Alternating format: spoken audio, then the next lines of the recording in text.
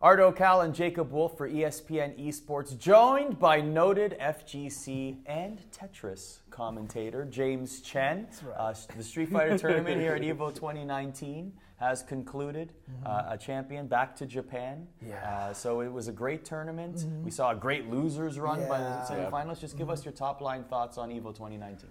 Uh, look, uh, coming into Evo 2019, everybody was talking about Punk, you know, and how hot of a streak he was on beforehand. But then, right beforehand, the previous two premier events were won by Bonchan, and so now he's kind of the talk at this point. And sure enough, he proved it again. And he was. This is his third premier event in a row now. So he took CEO, then VS Fighting, and now Evo, which is clearly the biggest one. And you know, it's it's it's exciting because you know he was in second place long time ago against Luffy, but he finally got his championship here, and it feels right to have Bonchan be a, an Evo champion.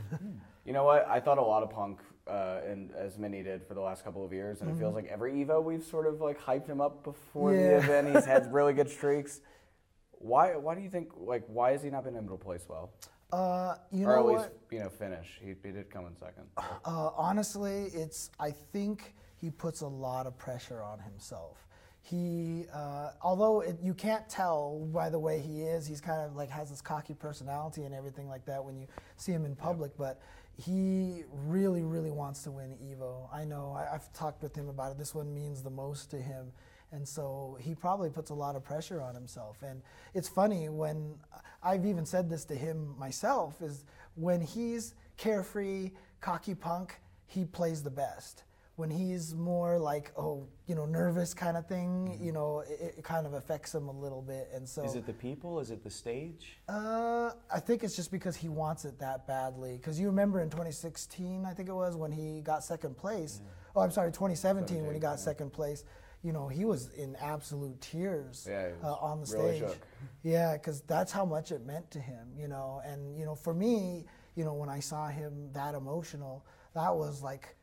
I mean, honestly, it was one of those moments that I saw and I really respected him so much for it because I could see how much it meant to him at that point in time, and it was just, you know, it, I would love to see him. I mean, he's young enough that he's got a few more years. He's got plenty of time to keep trying, and you know, Tokido took a while, Bonchan took a while, and you know, they've failed a couple of times and made it here. So I think, uh, you know, every I think Punk has plenty of time, and I wouldn't be surprised if he got that sometime very soon. So let's focus on Bonchan for a little bit. I mean, he had some great cutting play Mm-hmm. uh, leading into the grand finals and in the grand finals itself. Uh, just talk about some of the points that really uh, hit home in terms of him winning this championship. It, it, it's it's it's cool because, like I said, he's always been such a strong player. I remember in Street Fighter 4, he was always considered one of the best players. And uh, that year that he got second place to Luffy, everyone had him picked as the guy to win that tournament. He was coming in hot. And so when it didn't happen, it was kind of a shock at the time. Um, and, you know, for a while in Street Fighter uh, 5, you know, he started with Nash. And uh, Nash got nerfed really badly in season two, and Bonchan kind of started disappearing a little bit because he he kept playing uh, Nash, and it just wasn't really working. He was known as the last Nash for the longest of time, and um, eventually, you know, uh, he started picking up Karin a little bit. But then when Sagat came out, everyone's like, "Oh, well, that's what he used in Street Fighter 4. Sure. So it was like, "Oh, he's." But Sagat didn't turn out to be the best of characters. He has good matchups and real, some really terrible matchups. So you have to play multiple characters. But you know, Karin's obviously really, really strong this season, and so to see Bonchan just keep improving and getting stronger with Karin, you know, as the months kept going, even starting since last year and everything. So, you know, it's for me, like I said, it's it's super happy for me to see him uh, to take this tournament because, like I said, he's just been such a staple. He was basically trained by Daigo. Right, and so to have him, you know, take this is maybe I don't know, maybe feels kind of like continuing the Daigo legacy. Did it feel like over the years? I mean, he came in second in what was it 2014, It was where he was the runner-up. it's been so It's long. been it's so, so, long, hard right? for me to remember over the the, years. I guess I, what I guess what I'm asking is like over the years, was that still a motivating factor for him coming into these tournaments and saying, you know what, I need to win this one. Yeah, probably. I would imagine so because I, I mean that's the thing, right? Everybody wants to win Evo, so I think a lot of people kind of have that mindset that it's they, they haven't cemented their fighting game career until they win Evo. You know, we saw that a few years ago for Hungrybox when he won Smash Melee, right? And how overjoyed he was, and he was fell down on the stage and was crying on the stage. Made me cry too, but you know, um, I mean, you you can see it that a lot of people, you know, a lot of people will talk sometimes like, oh, well, you know, Evo's just another term, but then you know when they win it it's just uh, we saw it even with Goichi earlier this weekend. That what a moment that was, Yeah. right? Man, Sonic Fox there holding his arm in the air. Wow. I saw Goichi like his hands were shaking and like he had to take his glass out because he's Even in the winter finals, you know, like Yeah, fell over when, when he like and, made grands. Goichi's a guy who's won everything, right? But you know, to win Dragon Ball at Evo meant that much to him. you In the know? rematch too. Yeah, exactly. Oh my gosh, yeah. So you know, uh, I, I it's, you know, not to take it away from Bonchan, but I think everybody you know wants to take Evo at some point in time. So I want to ask, your eyes don't seem too red right now. So I'm gonna imagine you haven't the problem cried is, yet. About Goichi, I was about, I was about to start So crying. go, let's talk about Goichi for a few Yeah, minutes. So I want to ask, what makes Evo so emotional for you, and, and do you expect to hear in the next couple of hours, whether that be during Tekken or, or Ultimate, to br- just break down? You know, I, I, look, I, I, I don't want to cry. and uh, the, the two years ago when Tokido won, and he said fighting games are something so great, That, that I just lost it. But the reason why I get so emotional about it is because uh, I've been playing fighting games since Street Fighter 2.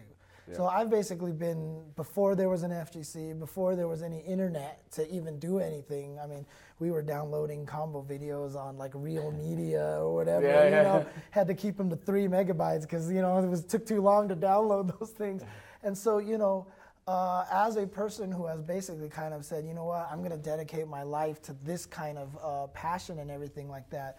Part of me also feels kind of worried about it because you know, you know, esports is still new, right? Fighting game community is still growing and everything like that, and you know, telling someone to pursue video games at the behest of any other sort of career path or something like that, you know, for me is kind of worrisome. You know what I mean? And sometimes as a commentator, as someone trying to talk about fighting games and, oh, look how great, hype, you know, all this stuff that, you know, I'm almost feeling like I'm luring people into a, you know, like a like a false, trap. yeah, yeah, exactly, like a dead end, right? Yeah. But then, you know, just through the past few years, I keep we just the FGC keeps getting these great stories of just, you know, for example, Mena RD winning Capcom Yeah. Cup. He won. I mean, yeah, Capcom Cup, and he got two hundred fifty thousand dollars, which is so much money in the Dominican Republic. He was basically able to change the country, and without the FGC, you know.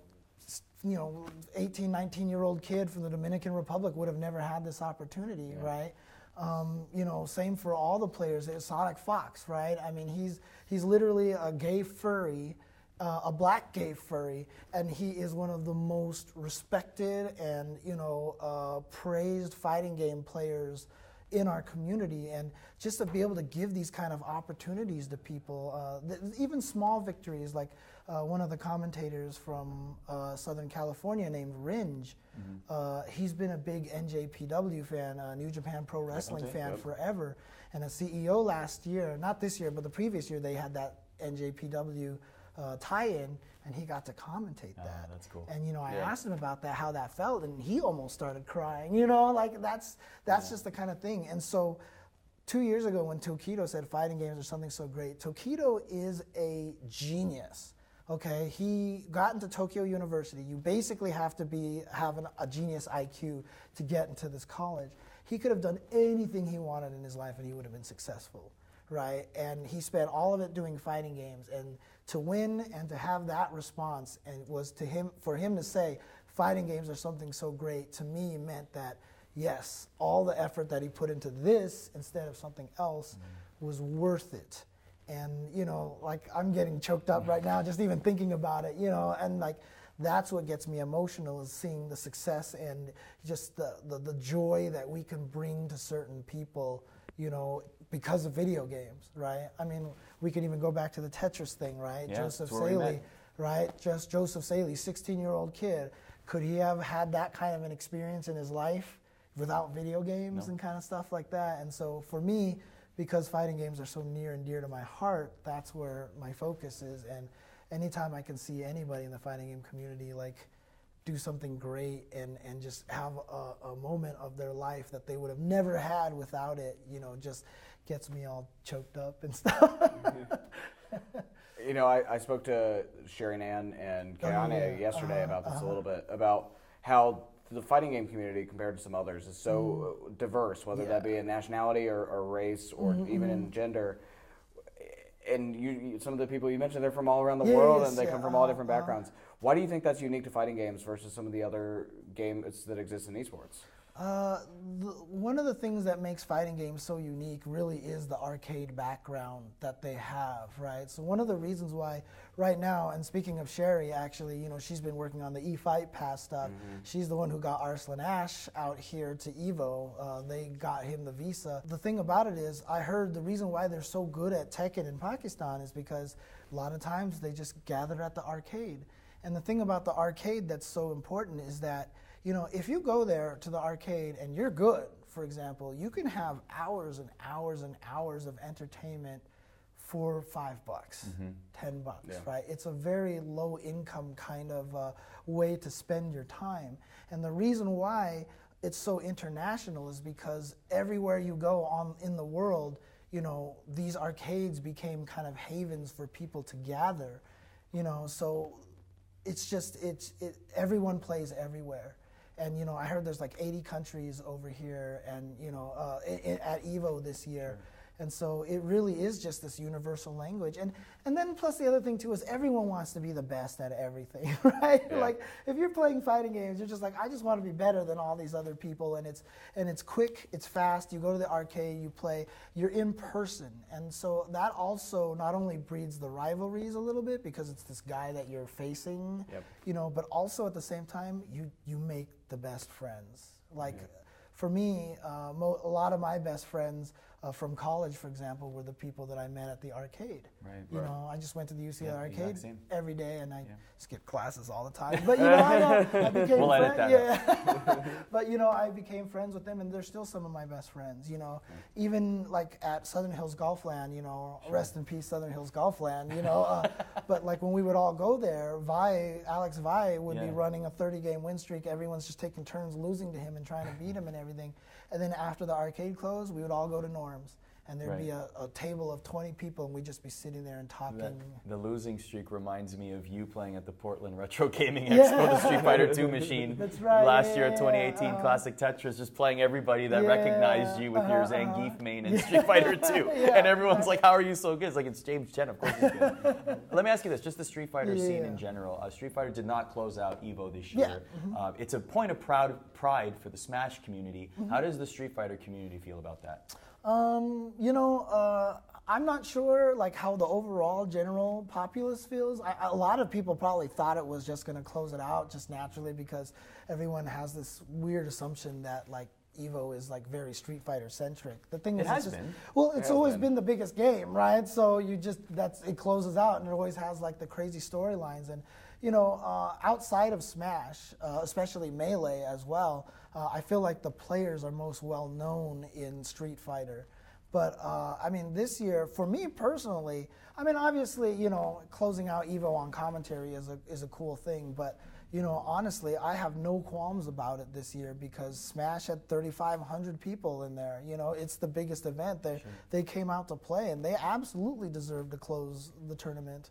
So do you think that, like, let's say we get to next year Mm-hmm. and the 2020 Evo Championships again, Street Fighter doesn't close out and Mm-hmm. it starts to become a pattern? Would at that point, do you think that's going to be a sore point for the Street Fighter community? Uh, I mean, if if if it does, I mean, I'll, I'll yell at them. You know, I'll, I'll I'll go I'll go on Twitter and be like, hey, look, you know, they have more players. This game is super hype. You know, everybody wants to have the the, the prime spot, the closeout spot, and stuff like that. But you know, one of the nice things about the FGC is that we aren't one game. Is that we are multiple games. You know what I mean? And I love that about the FGC. That you know, any given year, you know, it's one game or the other. Like, for example, Under Night in Birth this year, mm. right, was the community game that could. It was always the side tournament, and then just grew. And Evo was like, you know what? Let's reward this community because they keep growing at every event. Let's put into Evo, and then it just had over a thousand players, and it's like ridiculous, you know. And so, you know, for me, as even though I'm a Street Fighter commentator and I love Street Fighter and everything, I like seeing all the fighting games succeed. And uh, like I said, if anybody's mad about that, then you know I'll be there to just be like, you know, like don't be mad about it, dude. Like, you know, Street Fighter Five is like six years, five years old now. You know, sure. so may, hope maybe if Street Fighter Six comes out and like really reinvigorates Street Fighter, we'll get back there. But in the meantime, you know, it's fine to let other games have the the highlight every once in a while. And sort of what it seems like a little bit of a uh, a decline in Street Fighter Five interest mm-hmm. has been a very increase in Tekken Seven interest, yeah. and and it's not like Tekken's a new series. It's been historically at Evo for many many years. Uh-huh what do you think about that? Why do you why do you think that Tekken specifically in the past six to eight months has just been on the on the up? Uh, I could talk about this for hours. Like, this is this is something I could talk about for hours, but. Uh, the the best way for me to sum it up so that I don't you know talk for hours is uh, the Tekken community, uh, not the Tekken community, the Tekken developers, Harada, Michael Murray, all these guys who are working on Tekken, they have done such an amazing job with this game in so many different ways, right? Not only just like the guest characters and putting the guest characters so that they feel like the, the characters from where they came from, mm. right? Like Akuma feels like Akuma, Geese feels like Geese. They even put their game systems with them and everything. You know, they've been having great announcements. Uh, they've been responding to the community when they found out they had input lag. They, they were the first ones to fix the input lag. Uh, they've just been doing a great job responding to things. But then, the other thing that really makes a big difference, uh, honestly, is that the presentation of Tekken 7 is so good now, and mm-hmm. it is such a joy to watch this game. Um, it's it's crazy to think about you know how much presentation makes a difference because I'm not even gonna lie. A lot of people say this back in the older Evos when Tekken was in top eight. That was me to go time to go get dinner. That was for me to go sure. get lunch and stuff sure. like that. But uh, nowadays, Tekken is like. You can't miss this because you know the, the, the, the, zoom ins on the counter hits, the slow motions at the end of the round, and just how beautiful the game looks. The music is really good. It's everything comes together so perfectly, and and on top of all of that, it's a really fun game to play. Right? It's just it's such a good game to play. So just oh, it's just the perfect package coming together, and it makes me happy to see it keep getting more successful because that means that their developers, the the guys making the game, are getting rewarded for putting in all that extra effort and. So, I, I, in my heart, I almost felt like I kind of wanted Tekken to close out Evo because of how hype it is and everything like that. But, you know, um, Tekken has just been on the rise, and I don't see it stopping, to be honest. James Chen, FGC historian, FGC commentator, the legend himself, joining us here on ESPN Esports. And by the way, you can catch him on Wednesday on ESPN 8, the Ocho. Classic Tetris World Championships. That's right. Thank you for joining right us. Right there. Thank you for joining catch us. Catch him on it too. Yeah. Continued coverage for esports at espn.com/esports.